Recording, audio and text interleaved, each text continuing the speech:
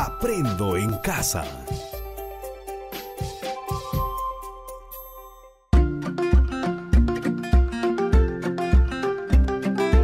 Queridos estudiantes, los invitamos a participar en el desarrollo de las sesiones de aprendizaje que hemos preparado para ustedes.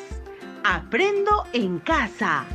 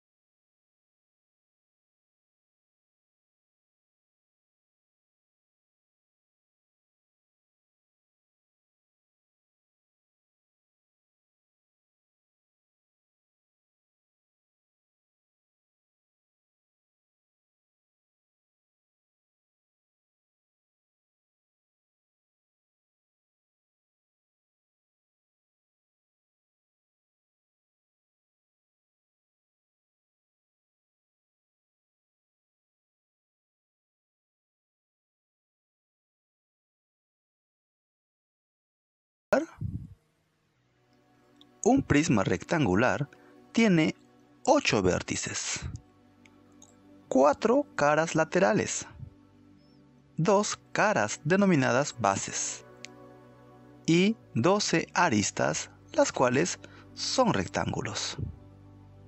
¡Qué bien! Hemos recordado algunas nociones importantes para trabajar hoy. Comencemos resolviendo un problema. La familia Gamboa decide construir sus cajones para el cultivo de plantas medicinales, haciendo un uso adecuado de sus espacios para cuidar la salud, tanto de la familia como de la comunidad, porque se está incentivando al resto de la población a tener buenas prácticas. Si el cajón de cultivo debe tener 76 centímetros de largo, 88 centímetros de ancho y 48 centímetros de profundidad, ¿qué cantidad de madera necesitan para construir el cajón de cultivo? ¿Y qué cantidad de tierra se necesitará para llenar el cajón? Sabemos que este problema matemático se puede resolver de distintas maneras. Te plantearé hoy algunos procedimientos siguiendo algunos pasos mediante preguntas que deberás ir respondiendo según avancemos. Paso 1. Comprendemos el problema. Para este proceso, es necesario expresar lo que comprendemos de la situación, tanto de lo que se conoce como lo que se pide en el problema. ¿Qué es lo que desea construir la familia Gamboa? Espero tu respuesta.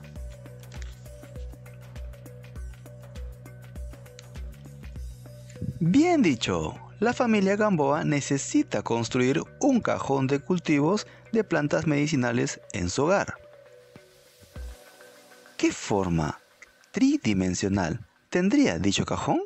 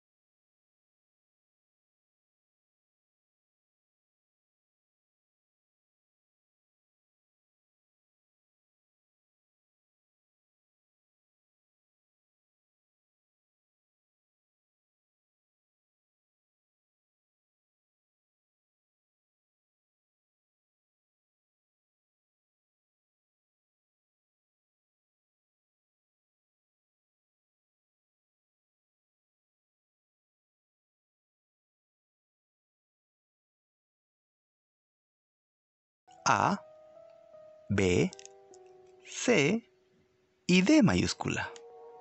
Y vértices de la base inferior. E, F, G y H. Repito, vértices de la base superior. A, B, C y D mayúscula. Y vértices de la base inferior. E, F, G y H mayúsculas. Luego, observamos y graficamos debajo del prisma las cuatro caras laterales con sus medidas. Y de paso, calculamos sus áreas.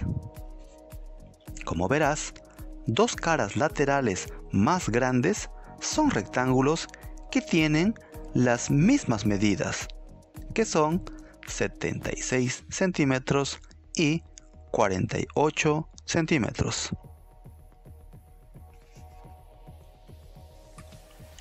Calculemos una de ellas. A sub 1 igual 76 por 48 igual 3648 centímetros cuadrados. Y como son dos, las superficies medirían 2 veces a sub 1 igual 2 por 3648 centímetros cuadrados igual 7296 centímetros cuadrados. Repito, y como son dos, las superficies medirían así. 2 a sub 1 igual 2 por 3648 centímetros cuadrados igual 7296 centímetros cuadrados. Las otras dos caras laterales más pequeñas tienen como medidas las dimensiones 88 centímetros por 48 centímetros. El área de una de dichas caras sería A sub 2 igual 88 por 48 igual 4224 centímetros cuadrados. Como ambas caras miden igual, sus áreas serían así. 2 a sub 2 igual 2 por 4224 igual 8448 centímetros cuadrados.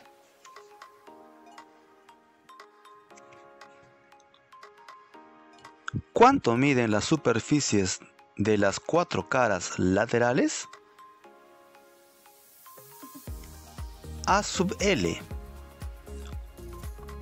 Área lateral. Igual 7296 centímetros cuadrados más 8448 centímetros cuadrados igual 15744 centímetros cuadrados.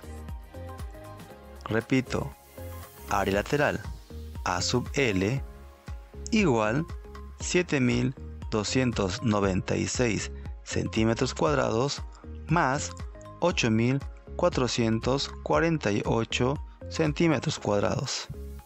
Igual 15744 centímetros cuadrados.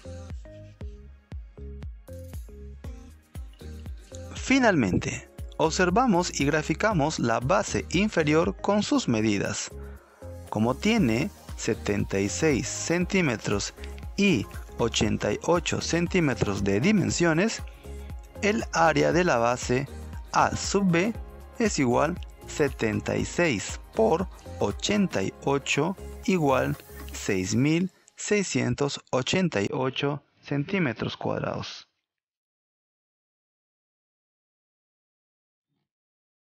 ¡Felicidades! Ya tienes el área de las caras laterales y el área de la base inferior.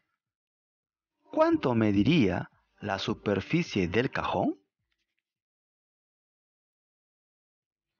Como vemos, sin contar con la tapa del cajón, tendremos que área total igual área lateral más área de una base.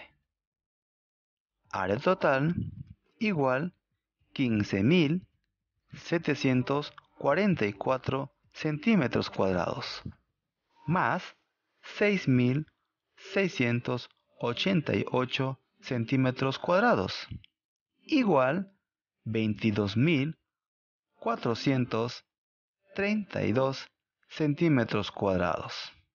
Repito, área total igual 15.000 744 centímetros cuadrados más 6.688 centímetros cuadrados igual 22.432 432 centímetros cuadrados. La superficie total de un prisma está compuesta por las caras laterales y las dos bases, pero como nuestro cajón no tendrá tapa, solo hemos requerido la base inferior. ¿Qué respuesta harías a la pregunta número uno? ¿Qué es? ¿Qué cantidad de madera necesitan para construir el cajón del cultivo? Espero tu respuesta. Claro que sí. Se necesitarán 22.432 centímetros cuadrados de madera para construir el cajón de cultivo de plantas medicinales. Buena respuesta. Sin embargo, si te pidiesen en metros cuadrados, ¿cuánto sería la respuesta? Ok, te voy a ayudar. Un centímetro cuadrado equivale a 0,0001 metros cuadrados. Si tenemos 22.432 centímetros cuadrados, para cambiar a metros cuadrados, tendríamos que, sí, multiplicar por 0,0001. Quedaría así. 22.432 por 0,0001 metros cuadrados igual 2,2432 metros cuadrados. Con lo que necesitaríamos 2,2432 metros cuadrados. ¿Y cómo calcularíamos el volumen del prisma que hemos trabajado? Así es, usaremos algunos algoritmos, es decir, aplicaremos la propiedad del volumen para determinar la cantidad de tierra que se va a necesitar según el problema. Como las tres dimensiones del cultivo son 76 centímetros de largo, 88 centímetros de ancho y 48 centímetros de profundidad, el volumen se obtendrá al multiplicarlas. Escribimos entonces. Volumen V mayúscula igual 76 por 88 por 48 igual 321.024 centímetros cúbicos.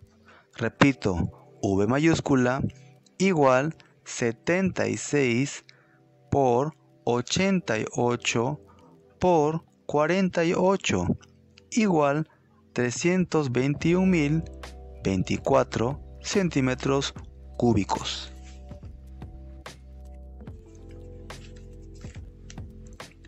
La respuesta a la pregunta número 2. ¿Y qué cantidad de tierra se necesitará para llenar el cajón? Sí, se necesitarán 321.024 centímetros cúbicos de tierra para llenar el cajón de cultivos de plantas medicinales.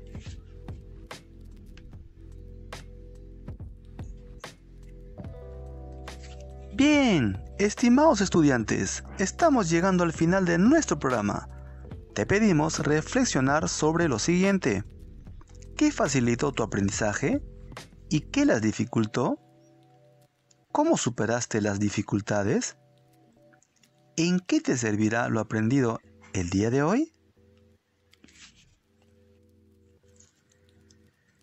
Para cerrar el insumo de matemática para el producto de nuestro proyecto de las dos semanas, ten en cuenta tener un cuaderno u hoja con cálculos sobre el área y volumen de distintas cajas de cultivo como prismas presentes en un huerto de plantas medicinales, las que elaboraste en la sesión anterior. Recuerda que tiene que responder al criterio. Emplea procedimientos para determinar el área o el volumen de prismas. Este criterio indica que realices cualquier procedimiento que consideres para encontrar el valor del área total y el volumen de tus diseños propuestos. La sesión anterior incluso. Observa más ejemplos en tu ficha de autoaprendizaje para apoyarte. Recuerda que tus diseños te servirán de inspiración y te darán más argumentos para elaborar tu producto final del proyecto que es decálogo con acciones para atender y prevenir situaciones relacionadas a la salud integral. Estudiante de primer grado realizar las actividades de las páginas 160 a la 162 de Resolvamos Problemas 1, así como tu ficha de autoaprendizaje. Estudiante de segundo grado. Realizar las actividades de las páginas 214 y 215 de Matemática 2 así como tu ficha de autoaprendizaje. No te olvides de guardar tus trabajos en el portafolio de evidencias para presentarlos a tu profesor o profesora y te pueda orientar para mejorar tus productos de área y producto final del proyecto según los criterios. Te recomendamos que sigas investigando para que amplíes tus aprendizajes y logres alcanzar tus sueños y objetivos. Estimado docente, reconocemos tu esfuerzo y compromiso por acercarnos a nuestros estudiantes para retroalimentarlos en sus aprendizajes. Te sugerimos brindes apoyo al estudiante en las siguientes tareas que debe desarrollar. A. Cerrar el insumo para el producto de sus experiencias de aprendizaje de las dos semanas, el cual consiste en tener en el cuaderno u hoja cálculos sobre el área y volumen de distintas cajas de cultivo como prismas presentes en un huerto de plantas medicinales, lo cual aportará al producto final de la experiencia, que consiste en tener un decálogo con acciones para atender y prevenir situaciones relacionadas a la salud integral, la misma que se construirá con el aporte de las distintas áreas. P. Preparar un material complementario que permita a los estudiantes aprender a seguir resolviendo problemas de prismas. Estimados padres y madres de familia, su apoyo y compromiso con el aprendizaje de sus hijos es importante. Ahora, con más razón, por la situación que nuestro país está atravesando. Por favor, te pedimos apoyarlos brindándole un espacio de tu casa para que realice sus actividades escolares. Tiempo para que escuche el programa radial y cumpla con sus responsabilidades educativas.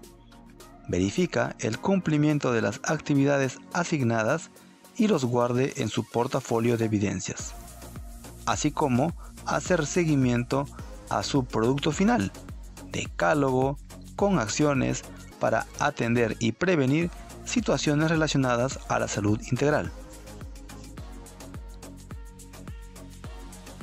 Muy bien jóvenes, nos reencontramos en nuestro próximo programa por esta misma emisora radial.